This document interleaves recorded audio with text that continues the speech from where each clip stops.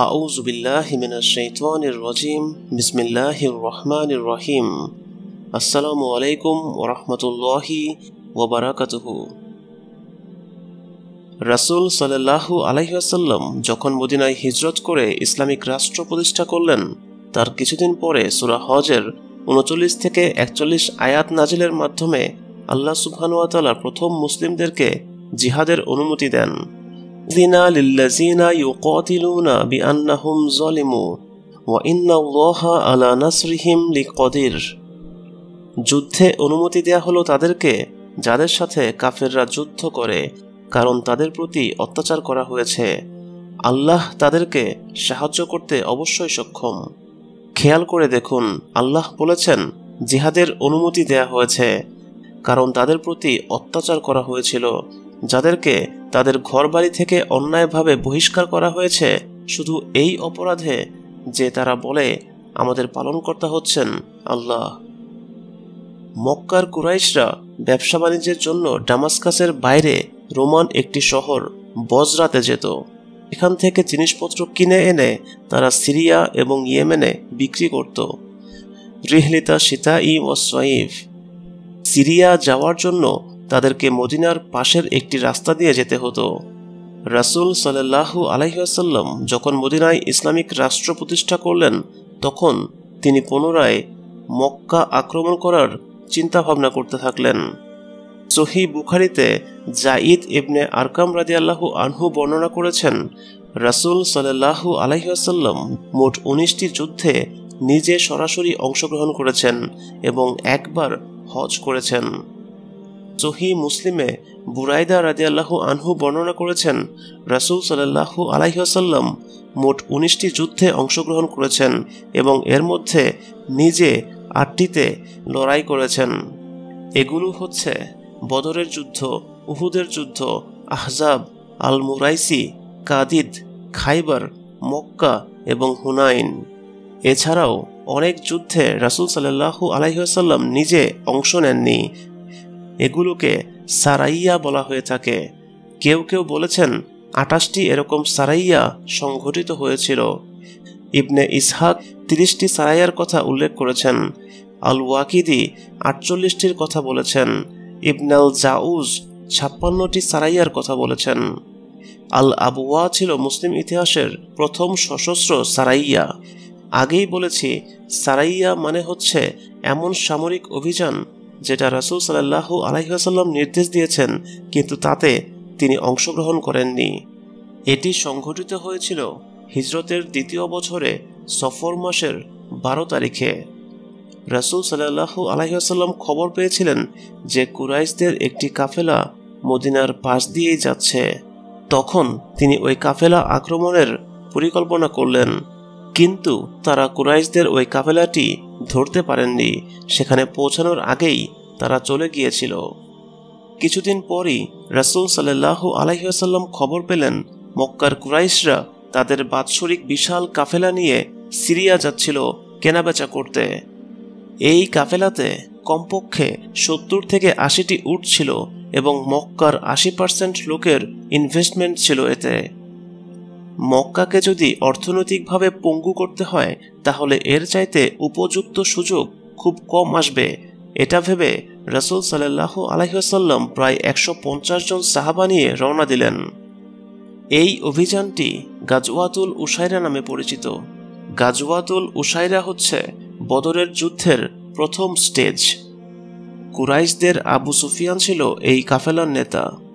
আবু সুফিয়ান এর কাফেলার এক লোক দূর থেকে মুসলিমদের এই বাহিনীকে দেখে ফেলল এবং সে আবু সুফিয়ানকে সেটা জানালো এবং আবু সুফিয়ান তৎক্ষণাৎ অন্য রাস্তা ধরে সেখান থেকে তাড়াতাড়ি চলে গেল।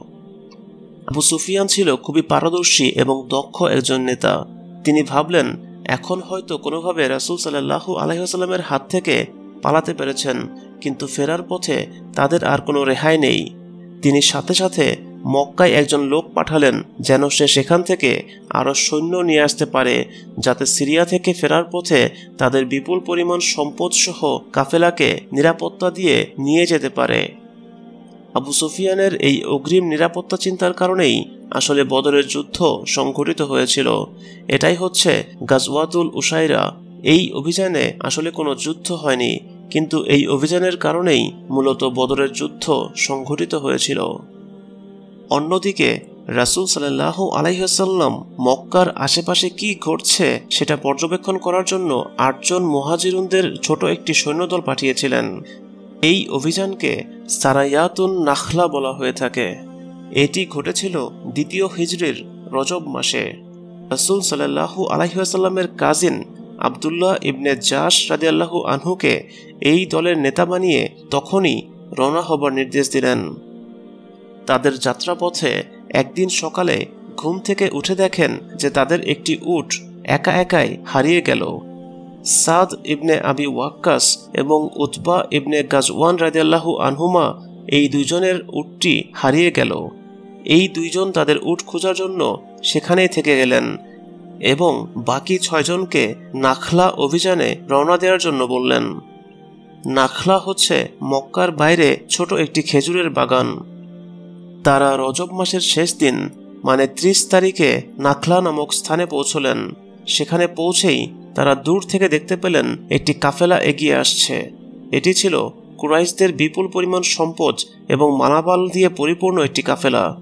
কিন্তু এই কাফেলাটিতে তিন চারজন লোক ছাড়া সশস্ত্র কোনো নিরাপত্তা প্রহরী ছিল না, কারণ কুরাইশরা এতই আত্মবিশ্বাসী ছিল যে তারা এমন একটি সময়ে বাস করছে যে কেউই তাদের কাফেলা আক্রমণ করবে না।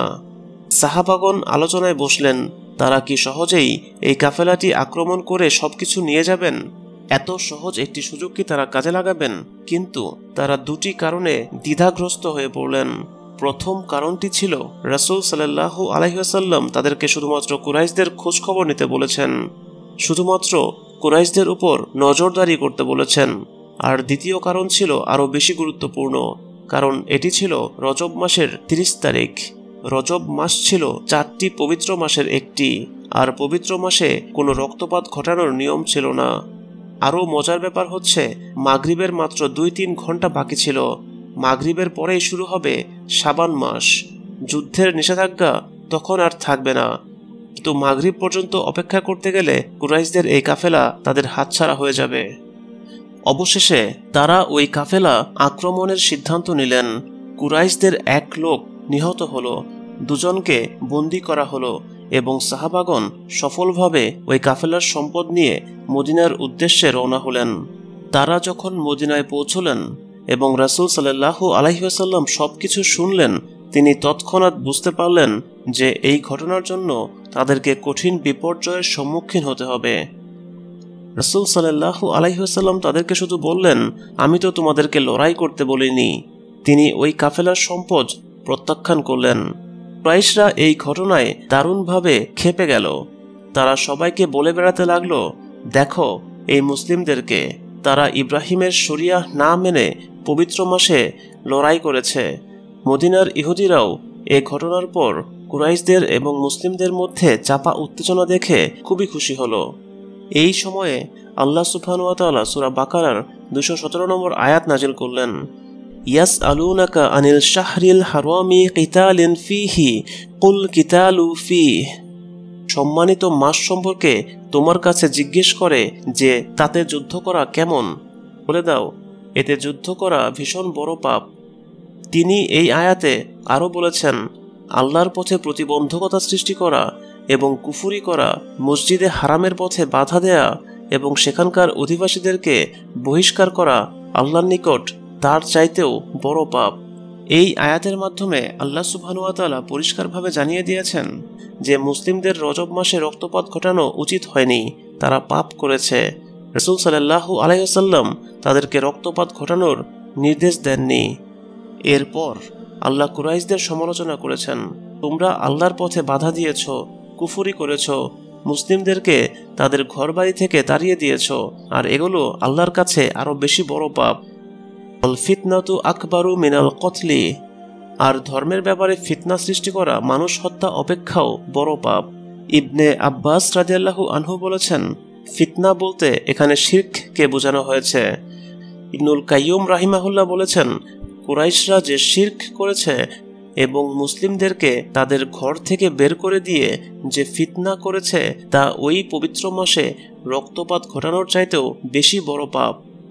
এই আয়াত নাজিলের পর রাসুল সাল্লাহ আলাইসাল্লাম ওই কাফেলার সম্পদ গ্রহণ করেন এবং ওই দুইজন বন্দির মুক্তি পৌঁছে কুরাইশদের কাছে বার্তা পাঠান এবং এটাও বলে দেন যে, আমরা এই দুই বন্দিকে ছাড়ব না। যতক্ষণ না পর্যন্ত আমাদের দুইজন লোক মদিনায় নিরাপদভাবে ফিরে আসে।